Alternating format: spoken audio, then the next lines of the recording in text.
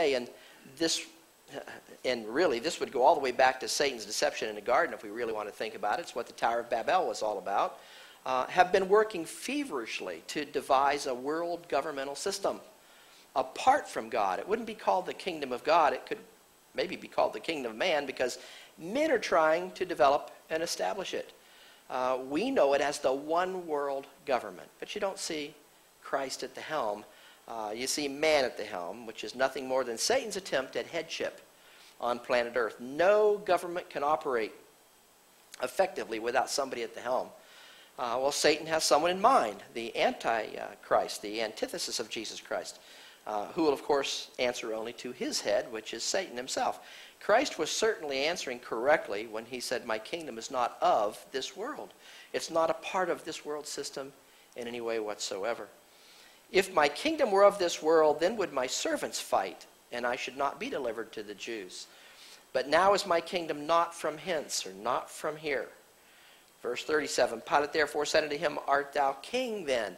Question keeps coming up, doesn't it? Uh, Jesus answered, Thou sayest that I am a king.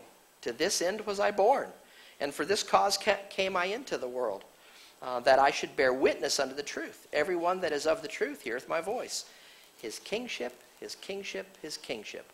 Over and over, it's the identity of, identity of Jesus.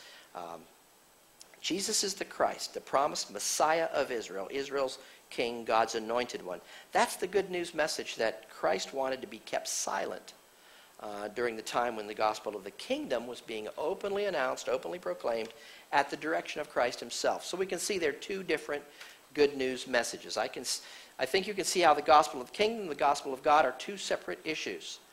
However closely they are related, and they are indeed related, they are two different issues.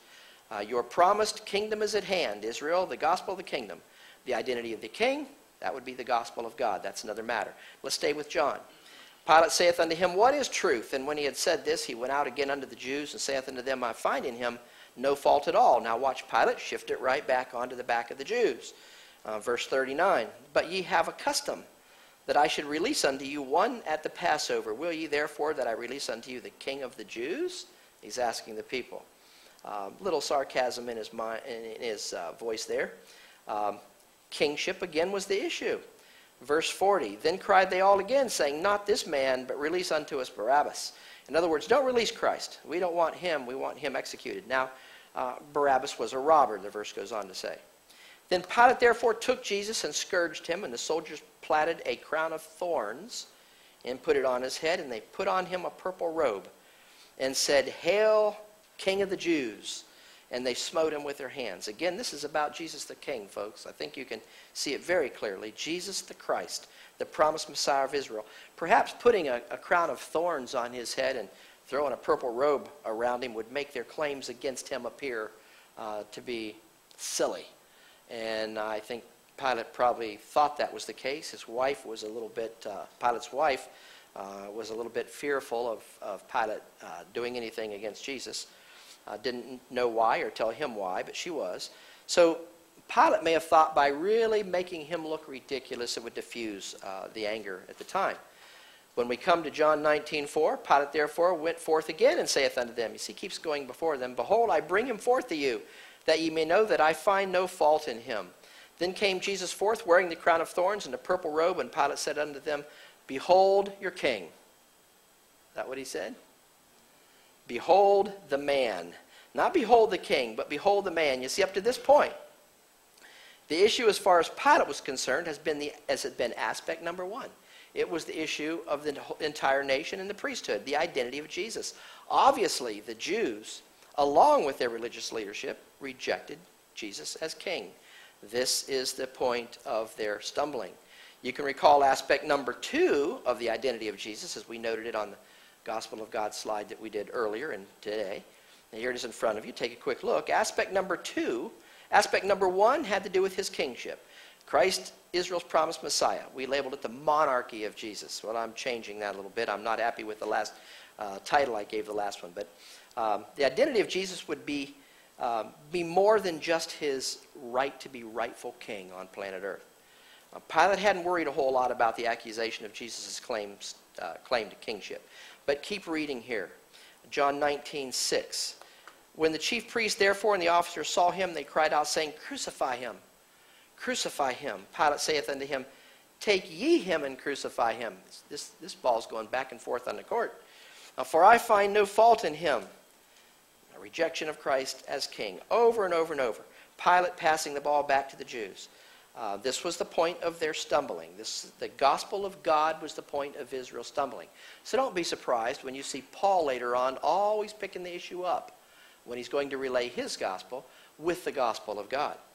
Uh, verse 19, or verse 7 and 8 of chapter 19. If the Jews answered him, or the Jews answered him, We have a law, and by our law he ought to die. Now watch what's coming next.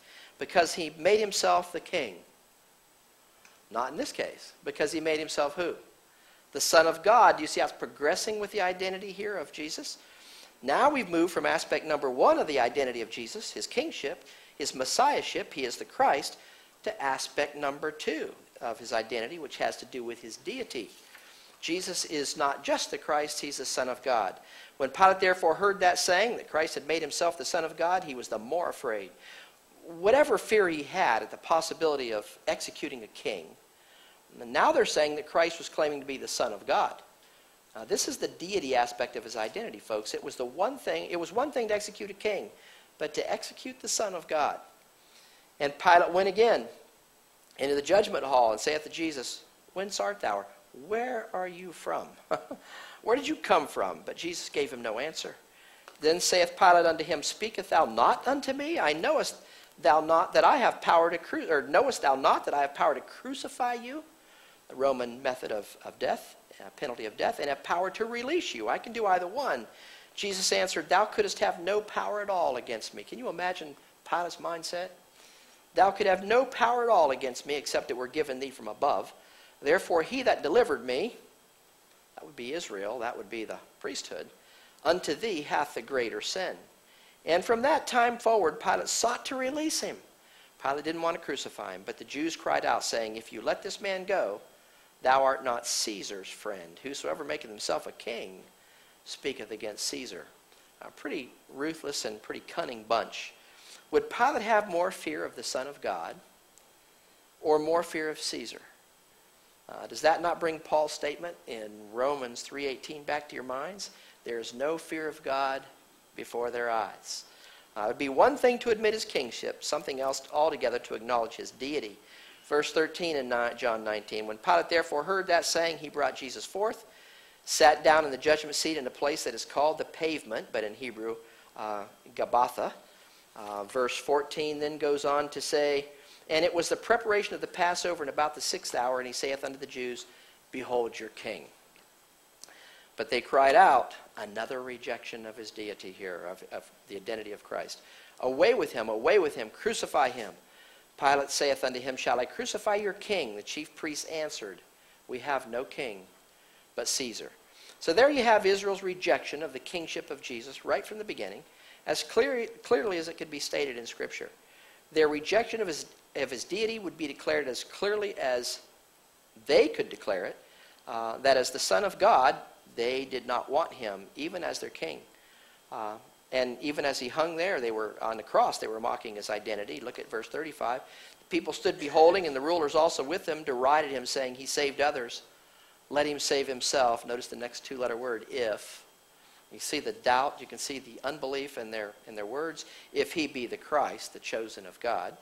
Uh, a denial of the identity of Jesus. Verses 36 and 37. And the soldiers, these are the Roman soldiers here, also mocked him uh, coming to him and offering him vinegar and saying, If thou be the king of the Jews, save thyself. Uh, you can see the unbelief, the denial of the identity of Jesus. And the superscription also is written over him in letters of Greek and Latin and Hebrew This is the king of the Jews. A mocking, a sarcastic, a cynical, uh, a derisive, yet an ironic denial of the identity of the man named Jesus, um, of whom Israel's very own scriptures had spoken. Um, the one the prophets had foretold would come. They didn't just reject him, folks, they hated him without a cause.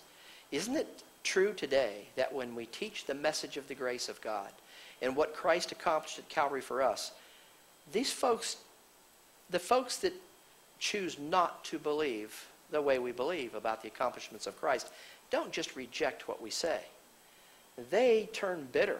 They turn venomous against those of us who are proclaiming it. So these